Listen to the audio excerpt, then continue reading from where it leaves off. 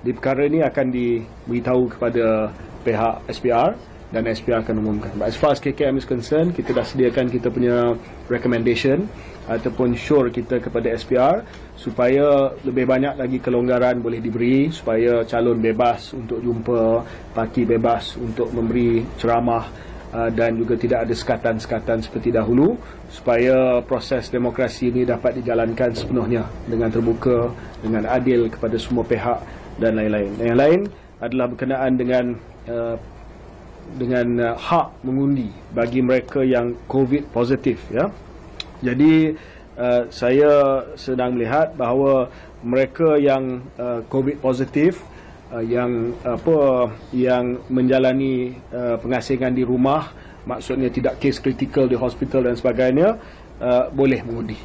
Mengenai sama ada SOP yang dibuat itu adalah sah memandangkan hanya dianggap caretaker, Khairi menjelaskan perkara itu dibincangkan terlebih dahulu sebelum pembubaran parlimen.